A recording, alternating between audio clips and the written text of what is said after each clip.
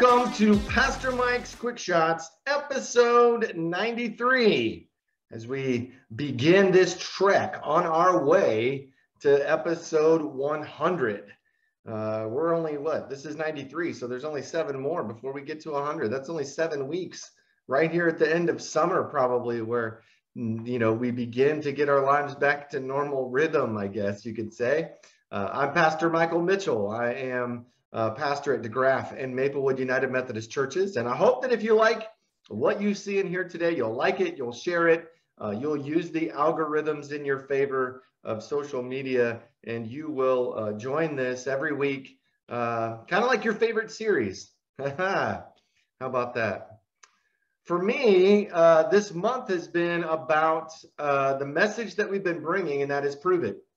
Uh, not only have I caught on to my own message, but I've been uh, more diligent. I've more been, been more diligent in my exercise, more diligent in taking the, the meds that my doctor wants me to take. Uh, I've been more diligent in, in providing means of which to have a little bit more energy, uh, only though to be seen uh, having adding more things to my list of things to do. Um, many of you I know are in the same boat. How do I fit one more thing in my schedule? How do I fit time uh, to do this or do that? Uh, where can I squeeze in this moment that I need? hopefully this month we've been proving it. We've been proving that we can. We can uh, know God more. We can walk with God better. And this week, uh, we'll hopefully get to understand what sacrificial love means and how that is how we show that we are proving it. One of the ways in which I've been I've been caught up is I've been caught up in um, doing uh, we all do this. We all get caught up in doing. Uh, it's the doing of something that makes it look right or makes it feel right. And I, I often don't believe that. I don't believe that just because we do something that doesn't mean our heart's in the right place. It doesn't mean we're doing it for the right reasons. Uh, and it doesn't mean that we are going to be successful. Um, what we do with God uh, must come through the Spirit of God. It must come through our time of listening and, and studying and praying. It's got to be part of what God wants us to do in order for it to be fruitful. Um, you've often heard me say something like uh, uh, furious activity uh, is no, no substitute for quiet, somber reflection. Uh, it's because obviously in our reflection, that's where we find out what we're supposed to be doing, how we can help each other, how we can help our neighbor. I began a study uh, this this last week, uh, and it's based on the book "The Last Arrow" by Erwin McManus. This comes from a piece of scripture, and um, it comes from a piece of scripture in which I think it's Second Kings. I think it's on my next. You'll you'll see it when I get to it. Uh, in Second Kings, you have uh, King uh, Jeho- Jehoash who is um, trying to make sure that he overthrows the enemy invaders of Aram. And Elisha, the prophet, is there. And it's how Elisha gets him to see that this is more important than just defeating your enemies. Sometimes you have to stop, slow down, listen, and do what's necessary, even to the last arrow. Listen to, listen to how the story unfolds. Elisha tells Jehoash to, quote, get a bow and some arrows, and then to take the bow in his hands after commanding Jehoash to shoot one of the arrows out of the east facing window, he declares that Jehoash will have victory in battle.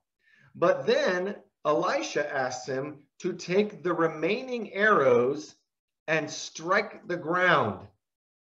Jehoash strikes the ground three times before he stops, quite unexpectedly. Elisha grows angry with him. You should have struck the ground five or six times. Then you would have defeated Aram and completely destroyed it. But now you will defeat it only three times. And that is where the story ends. Interestingly enough, we find ourselves in a moment like this all the time. God might be asking us to do something and we we do it in a rush and we do it in a hurry because we feel like we want the outcome not necessarily the work. We want we want what's coming. Uh, you just told me I'm going to be victorious, so bang, bang, bang. Let's get these arrows out of the way.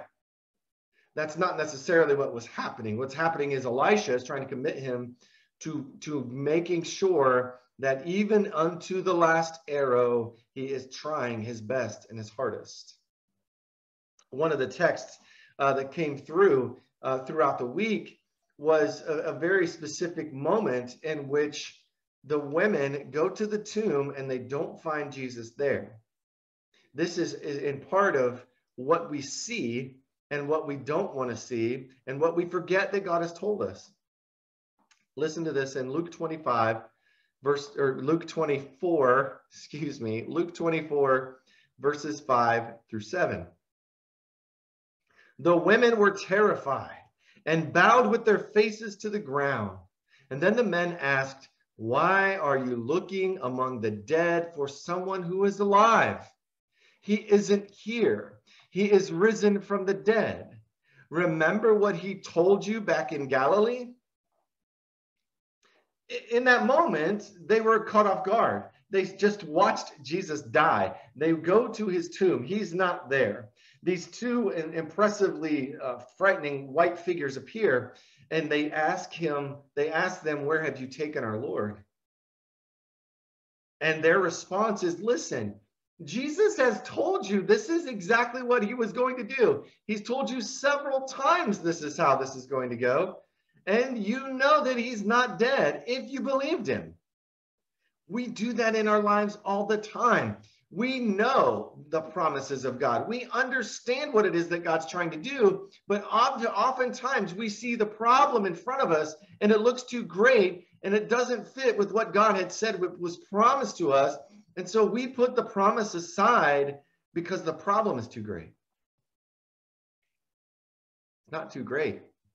Whether or not we're trying or whether or not we're working is the problem or what we're believing. Another, another text uh, from this from this devotional, and it brings about something very specific. See, there's uh, G- Jesus and the disciples and a big crowd are on their way to Jericho, and as they're coming into Jericho, there's two blind men sitting on the side of the road, and they have been there a long time. They've been doing this for a while. And so here, watch this story unfold in Matthew 20, verses 30 through 33. Two blind men were sitting beside the road. When they heard that Jesus was coming that way, they began shouting, Lord, son of David, have mercy on us. Be quiet, the crowd yelled at them.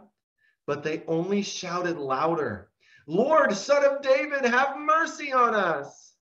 And when Jesus heard them, he stopped and called, What do you want me to do for you? Lord, they said, we want to see.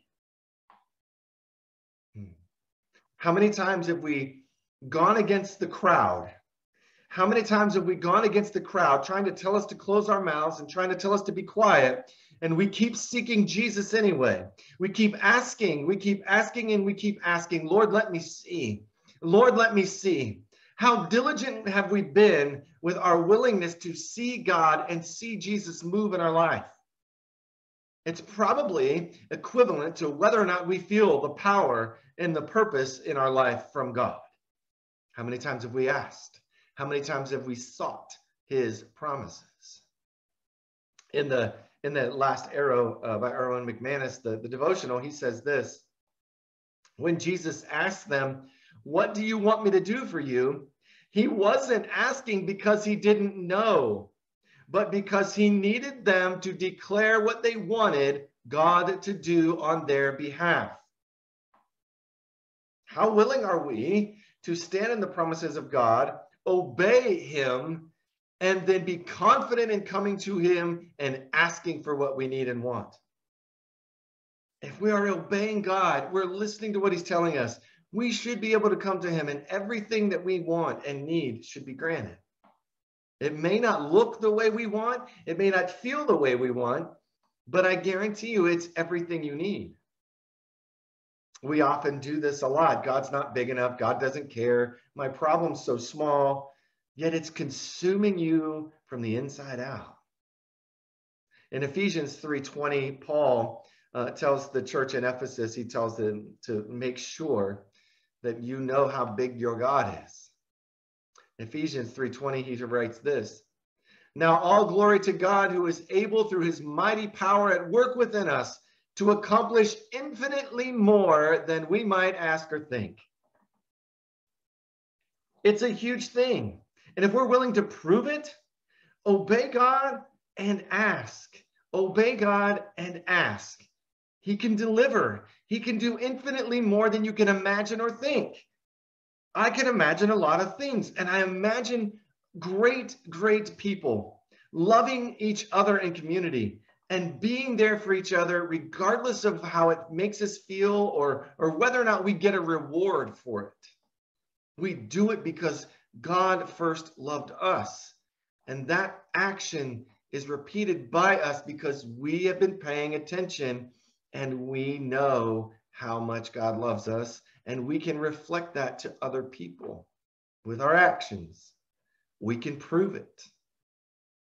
Friends, I don't know where you are on your journey. You are uh, uh infinitely uh, all of you are on a different space and a different place within that journey. And whatever it's, wherever it is, I pray that God is finding you seeking action, seeking Him first, diving into Him on a daily basis, creating intentional space for Him to reside in your busy life, and that you can find purpose, one that exists for you to prove it, that God is real and He loves us.